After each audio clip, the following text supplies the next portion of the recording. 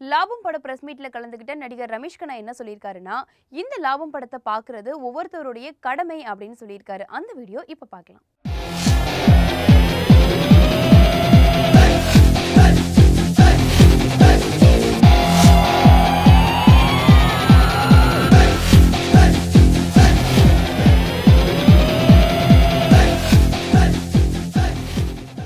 நம்மளுடைய கடமை இந்த படத்தை வெற்றி அடை செய்வது.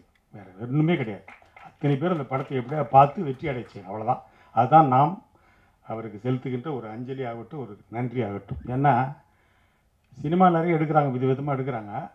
ஆனாலும் அந்த சினிமாவில் ஒரு சமூகத்துக்கு ஒரு நல்ல செய்தியை சொல்லணுன்ற எண்ணத்தோடு இதில் கூட கடைசியில் பார்த்தா விஜய் சேது சார் கூட சொல்கிறாரு நீங்கள் மறைமுக வரி அந்த வரியெல்லாம் போட்டு வாங்குறீங்களா நாங்கள் தாண்டா உண்மையான அதெல்லாம் சொல்கிறதுக்கே இப்போ ஆள் கிடையாது. இதை பற்றி பேசுவதற்கே இப்போ ஆள் கிடையாது. ஏன்னா பயப்படுறாங்க.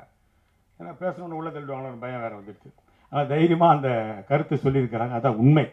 அந்த உண்மையை சொல்ல அந்த உறக்க சிந்தனை வந்து அவருக்கு வந்திருக்குது. ஜனதன் சாருக்கு. ஏன்னா அவர் நான் வந்து சூப்பர் ஃபிலிம்ஸில் ஃபஸ்ட்டு படம் பண்ணும்போது நான் அவரோட ஒர்க் பண்ணியிருக்கேன். அசிஸ்டண்ட்டாக பேசுவேன் டிஸ்கஸ் பண்ணுவேன். ரொம்ப ஜாலியாக பேசுவார். ஒரு நல்ல மனிதர். அவரை இழந்தாலும் அவருடைய படைப்புகள் நம்மகிட்ட என்றைக்குமே பேசிக்கிட்டு இருக்கு. அதான் உண்மை. படைப்பாளிக்கு கிடைக்கிற ஒரே ஒரு பலன் அதுதான் அவங்க க- மறைந்தாலும் அவர் படைப்பு நம்ம கூட பேசணும். அது மாதிரி விஜய் சேதுபதி சார் என்ன சொன்னாங்க? ரொம்ப எளிமையாக பழகுறவர். அவர் இப்போ சமீபத்தில் சொல்லியிருந்தார் நான் எடுத்த படம் ஒன்று ஒன்று நாலு படம் சார். நாலு படத்தில் எவ்வளோ எவ்வளோ லாஸ்ன்ற கணக்கை சொல்லிட்டு இருந்தார்.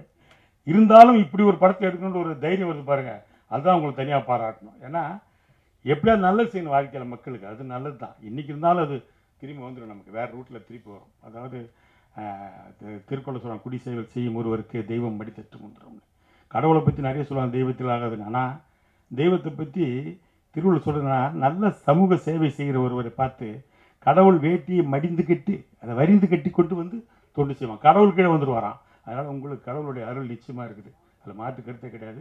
ஈமான் மை பெஸ்ட் ஃப்ரெண்ட் ஆல்வேஸ் அவருடைய பாடல்கள் தான் நான் நிறைய இடத்துல ரிங்டோன் அஞ்சு கொடுத்துட்டு சொன்னேன் நான்.